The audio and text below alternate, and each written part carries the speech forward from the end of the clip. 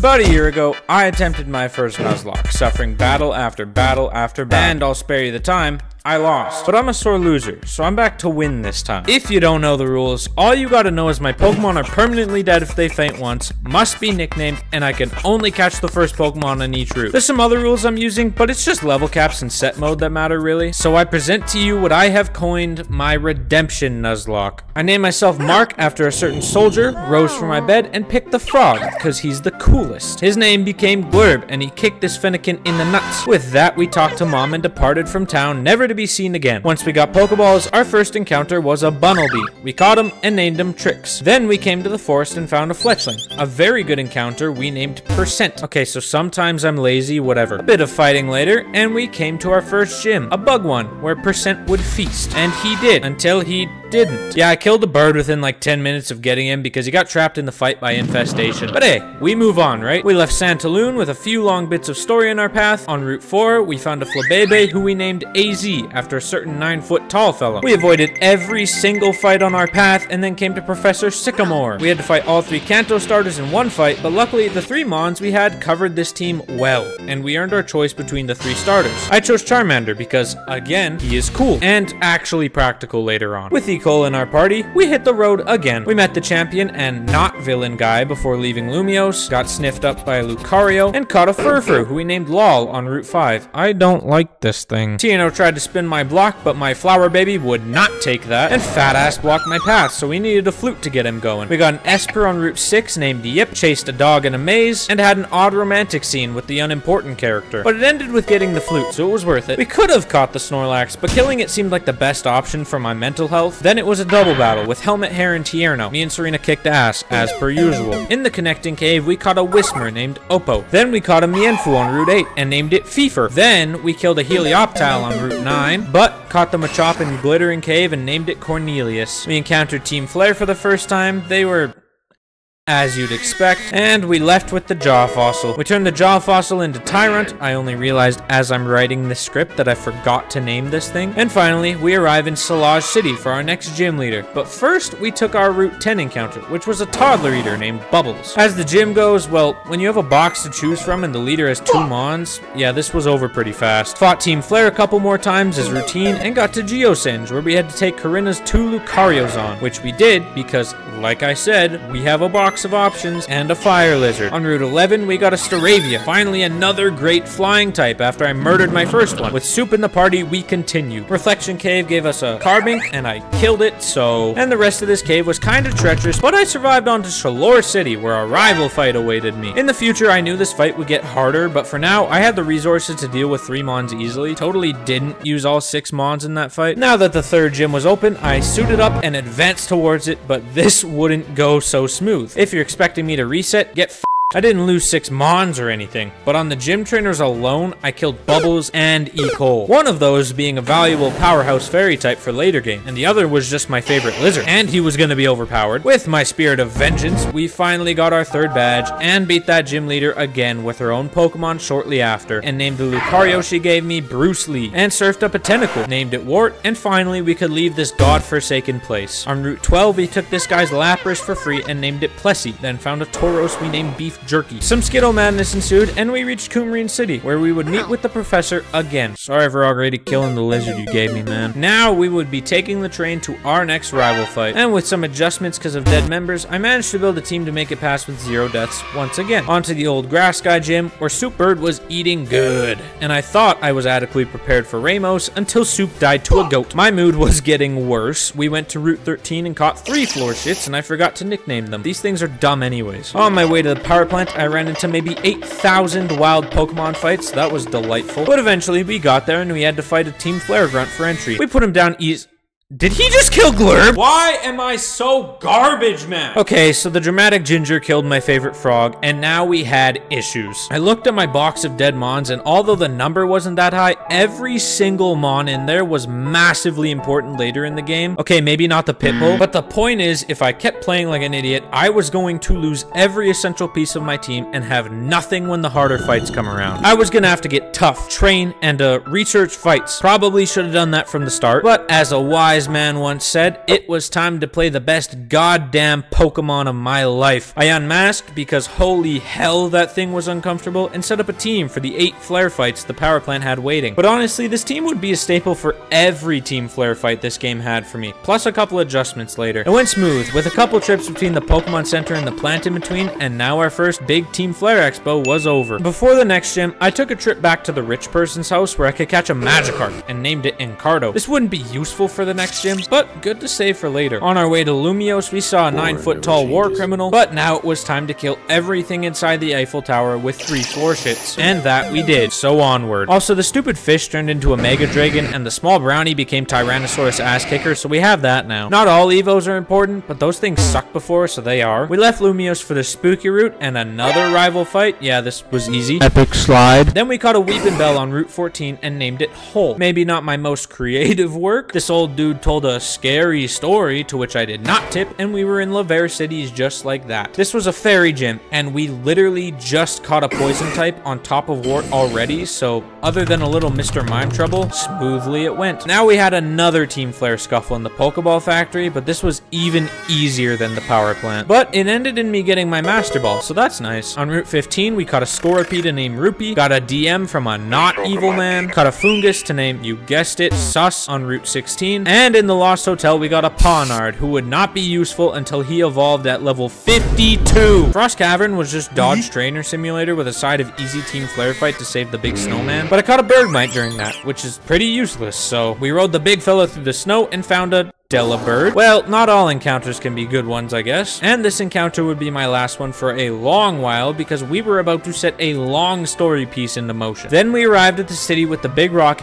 and the next gym. But first, we put our rival down again. This fight just gets so easy when I actually have Pokemon to pick from. And the gym was Psychic. We had a Dark type Steroid Scorpion. You know the rest. Upon our exit, the not evil guy called our phone to conveniently tell us his version of the Rapture was coming. And so, as any 10-year-old would, we set off to stop the terrorists in Lumiose. We mugged the waiters and moved into the super secret mega hidden base. I moved a shelf. The glaring difficulty here was the three Lysandre fights we would have to do, because just surviving the first and easiest one, my team was damn near toasted. So getting through the later fights was seeming more and more like an issue, but we'll cross that bridge when we come to it. We saw the superheroes, I don't actually know what they're supposed to be, and fight after fight and spin after spin, we moved slowly through the Team Flare base until we found the war criminal turned war prisoner. He told us a fairy tale of his past genocide adventure to revive a flower, and Lysandre invited me into his private ditty suite. Little did I know I would be joining a threesome with a pale ice cream cone, but he went down easy. Then I got to push an inconsequential button because he was gonna make the big machine come up anyways. But that being said, the big machine was here, and so was another Lysandre fight, the second of the three. With my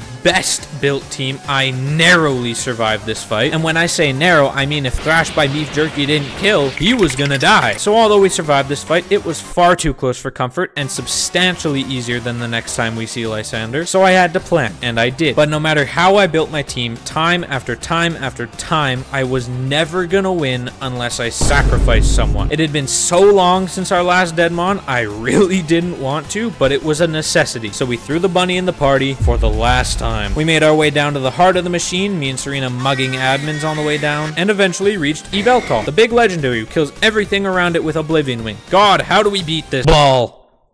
Hey, they give me a Master Ball for a reason, come on. Then Lysandre barges in with his weird little flies and tries to kill a 10-year-old once again, now with Mega Gyarados. The three other Mons on his team went the same, but when Gyarados came out, so did Diggersby. He used Super Fang to cut Gyarados down to half health for free and checked out permanently. Fever was able to clean up the rest with U-turn into Lapras, killing Gyarados, ending Team Flare, and making the Rabbit's death useful. The ultimate weapon blew itself up with Lysandre inside it, and we exited finally. The war criminal visits us again in his typical random fashion. On Route 18, we caught a Torkoal, a useful defensive powerhouse and our only fire type. We named it Durant and arrived in Couriway Town, where we would meet and fight the professor again. This time again, he had the three Kanto starters, but fully evolved to hurt me. Must have been payback for me killing his lizard. This fight was routine, as expected, especially with Torkoal, but it did hurt to see what I could have had if I didn't kill Ecole. On the waters of Couriway, we found Lombre, who we named Lormbe, a good piece once it evolved. On Route 19, I literally couldn't find any anything but Drapion, who I already had, but eventually I got a Stunfisk to name Flat Stanley. After that, we had to fight Shauna, Tierno, and Trevor back to back to back, which was a bit troubling to plan for, but I handled myself. Then I arrived in Snowbelle, where I had to go chase the gym leader down a couple routes. So on Route 20, I got a Noctowl to name Hoot, and in the Pokemon Village, I got a Gothorita to name Gorth. But now that the leader was back, I could do the gym, which took a while because one, the gym trainers were kind of brutal, and two,